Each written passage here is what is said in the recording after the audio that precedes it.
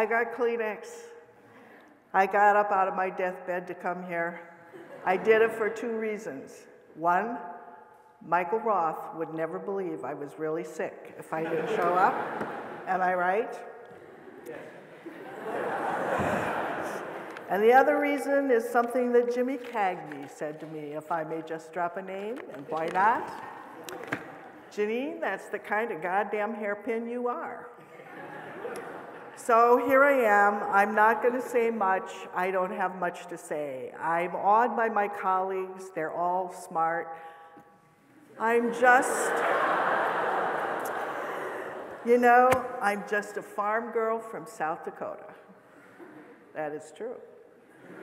You want to bring a cow in here? I'll show you. Okay. The very nice young man who conned me into doing this, may he live in peace, uh, told me that what I needed to do, the first time I said no, was pick a very, very, very, very, very, very important topic. And I was thinking, well, it's like a beauty pageant. And it's the part where they say, What do I really care about? And I say, World peace. Um, so I, I rejected that, but he, he wasn't easy to get rid of. Uh, he came back and he said, Well, no, no, no, no. Tell us about what's the most exciting thing you do in your life. And I thought, Well, I'm not going there. um,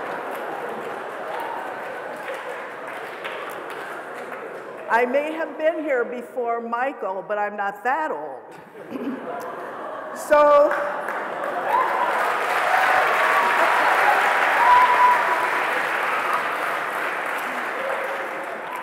So finally, I picked out a topic that I thought I could do in nine minutes. Not that I'm going to pay any attention to you, darling. Forget it. Uh, uh, I've, I've been to the Oscars. I know what to do. Um, uh, just pretend you're Meryl Streep. That's what you do. Okay, now, my idea was, can you teach creativity? And I got the question mark. You've got to hang on. You've got to hang on. Get the question mark. Can you teach creativity? And I thought, I can do that because, you know, the answer is no. no, no, thank you, we're done. Um, now, of course, because I'm a teacher, you all already know that the fact that I'm done doesn't mean that I'm going to stop talking. So um, let's go on. Creativity, creativity, creation, creation. As far as I know, no professionals really sit around the dinner party talking about that issue. That word does not appear, and I've sat around some dinner tables. They just don't want to go there, it's not in their vocabulary. Um, two sets of people use the word creation school teachers and right wing religious nuts.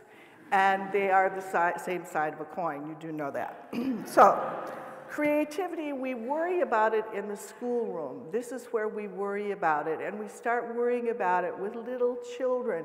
We start worrying in nursery school. And we say, Children, you must be creative. You must be creative. Go in that room, darlings. We've laid out all the paints and stuffy stuffs there are in there. Go stick your little paws in that, do the mess around, do the mess around, do the mess around, and then bring your stuff out and we look and we see all these accidental watercolors and we say, fabulous, creative, and then we hang them in the Zilkha Gallery.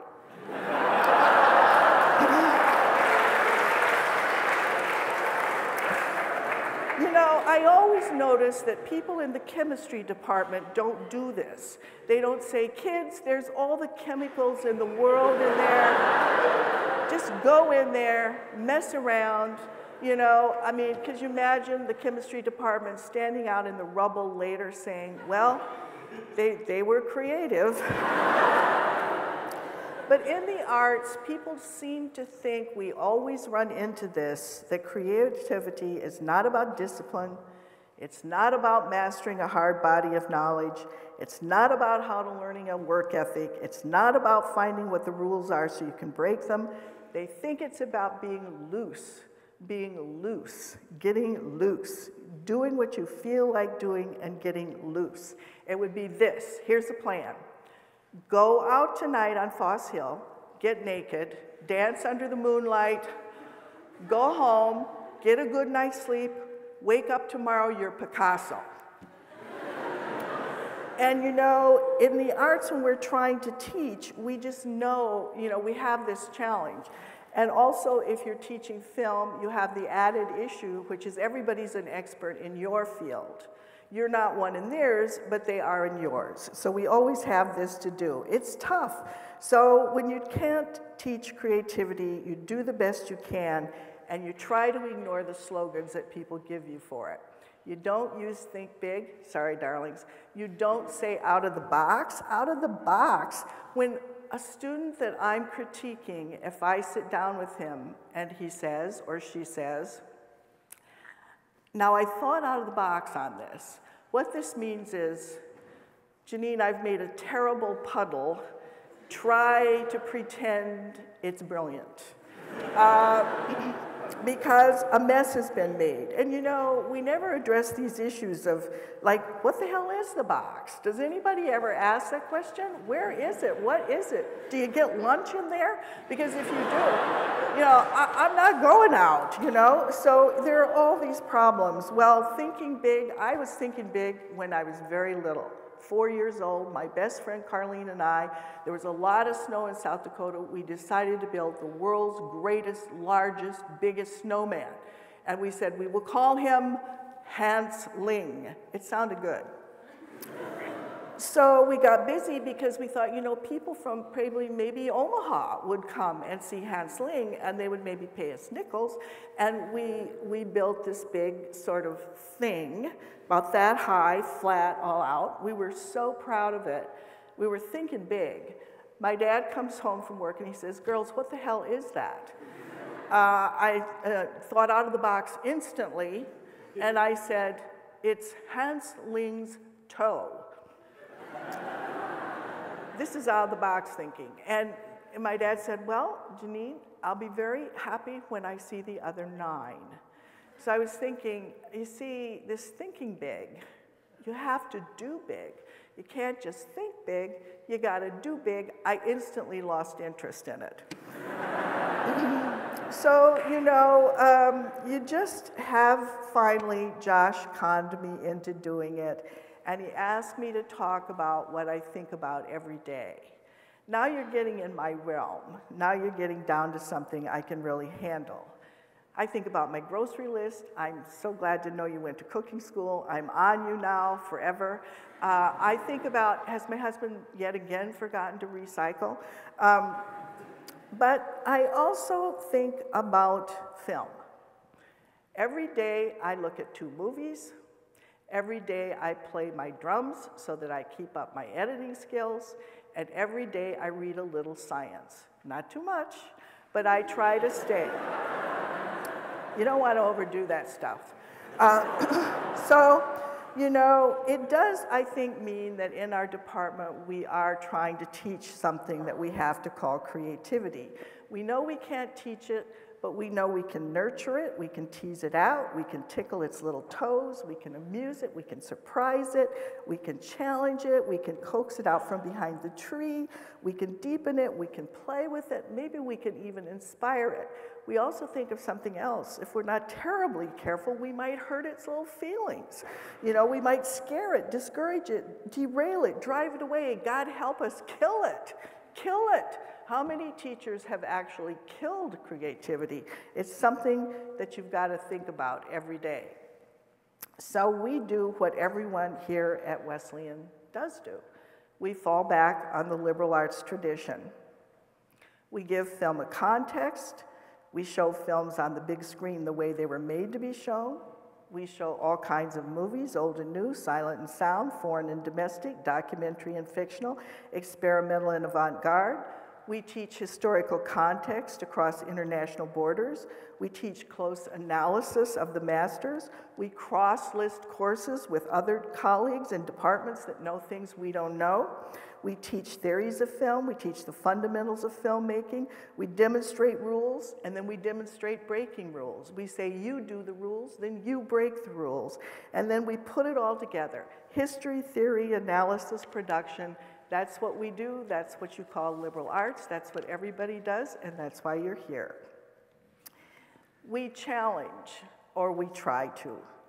We know risks have to be taken by our students. We know we have to let them crash in flames and not laugh at them. We know that we have to let them fail. We know failures will happen. We don't want to encourage them, but we know we have to accept them. They are part of the learning process. We provide a supportive context. We critique work with as much rigor as we possibly can, with total honesty, but we hope with tact, humor, and heart. We take our work seriously. We take our students seriously. We take our students' work seriously. We take what we're doing seriously, but we try not to take ourselves too seriously. We remind ourselves every day this thing we may be wrong. We may be wrong. We may not get it. We may be wrong. We too can make mistakes, and we must be open to learning from our students. So we think about our responsibilities of, as teachers, we share our passion, we have fun together, we go to the movies, we cook together, we talk about everything, we eat, we eat an awful lot, we eat more than other majors. our own scholarship grows out of this daily work of teaching and our constant rethinking of our ideas about films. What I have to say to you in light of these wonderful talks isn't really very profound. It isn't really maybe very important, but it is the truth. And it's if you ask me what I think about every day, I really think about teaching because I am a teacher. I teach school. That's what I do. And that means I have to be sure I'm not destroying the thing that I'm trying to make grow, that I stay fresh, and I stay respectful of my students. I assume nothing. Every day I get up and I come to work, and every day is a beginning.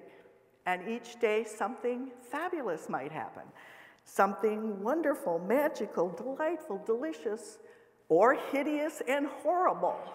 Yesterday, all hideous and horrible.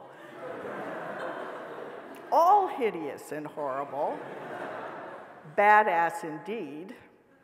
Uh, but I, uh, you know, what I know is I just do this. I don't have to think big. I don't have to be inside a box or outside a box.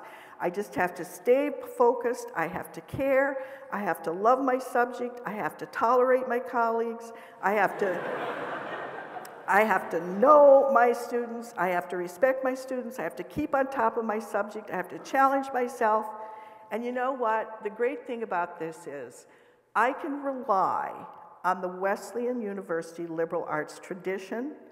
I can rely on these guys to do all the serious thinking here. I can, I, they will help me if I go to them. They will help me.